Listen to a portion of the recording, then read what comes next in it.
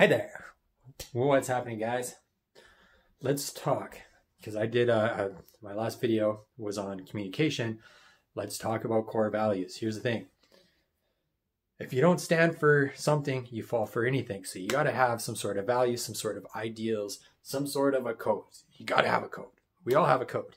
Every everybody who performs at a high level has a code. Now here's the thing. It could be any number of things, but some of the things that we take, that I take a lot of pride on, and I know a lot of the people, my peers, take a lot of pride on, is communication. Right? Tell them, tell them what you told them, tell them again, instill it all. And the reason that we do that is the reason that we over communicate is not because we think you're an idiot, not because we think you're stupid, but because we want to make sure that you understand we're on the same page and you know bridge that memory help build that memory right representing what winning looks like all the time that's another good one like i get it you know sometimes we're going to fall flat on our face and sometimes things don't go our way but here's the thing when that happens if that happens to you what matters is how you pick yourself up and how you keep getting forward there are no losers. The only losers are the ones who give up and the ones who don't keep trucking on. So as long as you keep getting up, you keep learning your lesson, you keep pushing forward, guess what? You're winning at all times. May not feel like it in the moment, but you're progressing, you're winning. Representing what excellence looks like. What does excellence mean? Excellent comes down to communication, right? Get it? We're human. We don't always have the best communication skills. We don't always know how to get our our message across, our point across, because people hear things and understand things differently, and we all have our own styles and it's trying to figure out how to me- mesh, right? But communication is a big one. It's setting the bar high, right? You know your peers, you know your competitors, you know most of the world operates on this level. Set yourself up here. Raise the bar, raise the standard, go the extra mile, set yourself apart. We make we take a lot of pride and we make a lot of effort to set ourselves up above everybody else. Why? Because it makes everybody's lives easier it makes our clients' lives easier.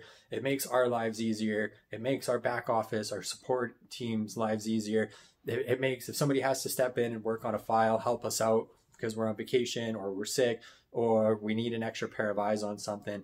It just makes everything that much more smoother. The smoother the process, the happier everybody is. The happier everybody is, the better the reviews, the stronger the case studies, the more free marketing the clients get, the happier referral partners are, right?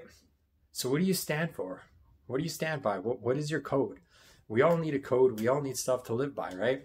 What do you do to learn? What do you do to adapt, right? Every whether it's every single morning, every single afternoon, or in the evening, taking that time to yourself to learn, to better yourself, to work on self development, right? Because it's we can sit there and we can play victims and we can blame everybody else and we can point the fingers, but guess what? I've got a finger pointed at you. I've now got three. That's right, three pointed right back at me. Pointing the finger, playing the blame game doesn't work. Everything in your life begins and ends with you. Everything in my life begins and ends with me. So we need to accept accountability and responsibility for what's going on in our lives and where we are in life, right?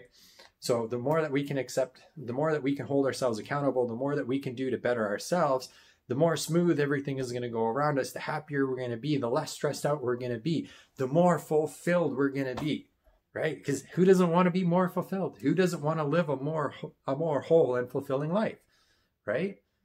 Like I can't think of one person that doesn't. Well, maybe you know, couch potatoes living vicariously through the TV. That's one thing. They're they're more than happy to you know live vicariously through the TV, play their video games, do whatever. And there's nothing wrong with that. To each their own. That that's their life. But you know. So, what what is the lesson here? Like, what happened? Have something to stand for, have a code, have core values, whatever you want to call it. Stand for something, right? Why?